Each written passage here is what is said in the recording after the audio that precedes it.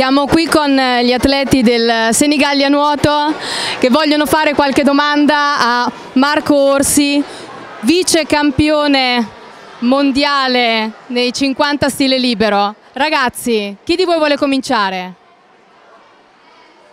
Come ti chiami? Sara, quante ore ti alleni? Allora, tra nuoto e palestra mi alleno circa 4 ore al giorno, al suddivise tra mattina e pomeriggio. Chi è il prossimo? Chi è il prossimo?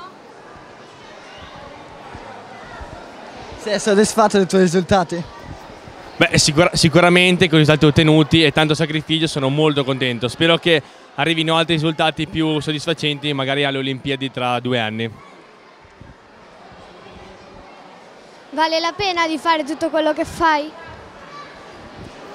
Eh sì, vale la pena alla fine, perché comunque quando sei su un podio, sei, eh, hai al collo una medaglia che hai sempre sognato e, e, mm, tutte, le, tutte le cose che hai fatto prima si oscurano e diventa tutto bellissimo. Quali consigli ci dai? Ehm, sicuramente ci sono momenti bui e ci sono momenti positivi, no?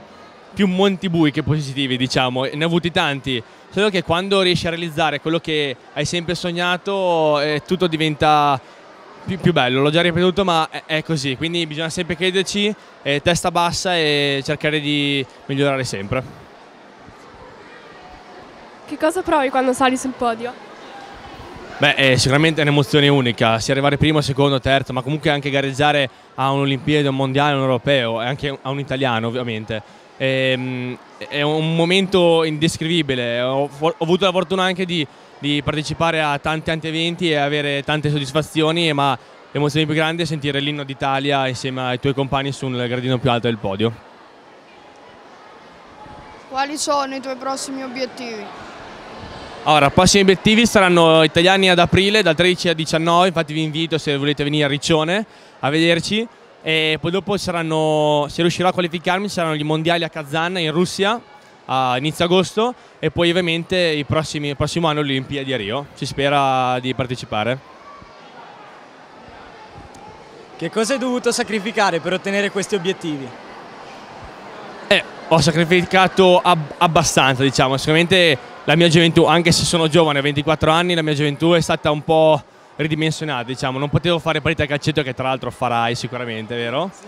Ecco, quelle non posso farlo, comunque uscire con i miei amici troppo tardi non si, può, non si può fare, l'alimentazione bisogna avere un'alimentazione corretta e quindi sono, è qualche sacrificio che va fatto, ma poi quando vedi i risultati dici vabbè, va bene farli.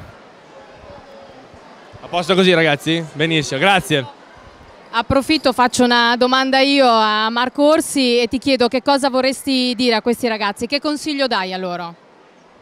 È un buon consiglio, ma l'ho ripetuto anche prima, sicuramente di, di, anche se un risultato non viene subito, comunque noi lavoriamo per un risultato, no? Tra l'altro voi sì. dovete fare i giovanili, non so se qualcuno l'ha fatto, no niente, regionali, sì. avete regionali, perfetto, bene. Ecco, e il vostro allenatore lavora per voi, credete sempre nel vostro allenatore perché alla fine lui sa, benissimo quello che farà per voi, il vostro meglio diciamo e, e se il risultato non viene subito eh, cercate di rincorrere il più possibile, sempre e, e vedrete che con tanta costanza soprattutto arriverà. Grazie a Marco Orsi, grazie agli atleti del Senigallia Nuoto, grazie, arrivederci.